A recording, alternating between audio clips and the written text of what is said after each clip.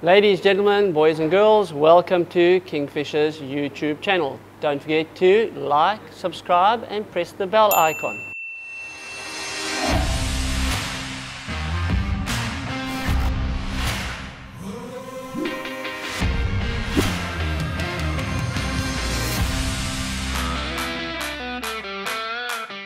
Guys, today I'm talking about our Mustad bass hooks, in particular the big mouth. Reference number for this hook is 38104 NPBN.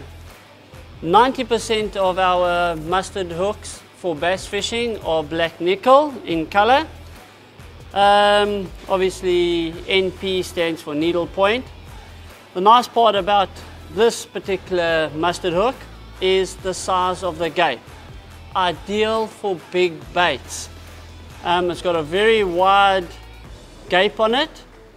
It is in line. So if you look at the point of the hook and where the actual R part is, it's in line.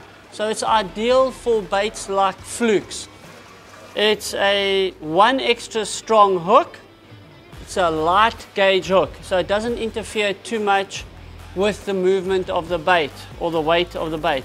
So if you don't know what a fluke is, that's a fluke. So size-wise, we go from a 6.0, 5.0, 4.0, 3.0, 2.0 and a 1.0.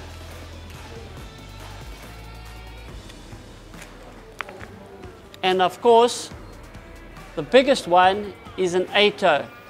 The 8 we generally use on our 6 inch paddle tails um, for those big mega bass that we always hunt here, as well as for saltwater fishing for cob um, in the Cape and in KZN. So it's an ideal hook for catching cob as well in salt water. There we go guys.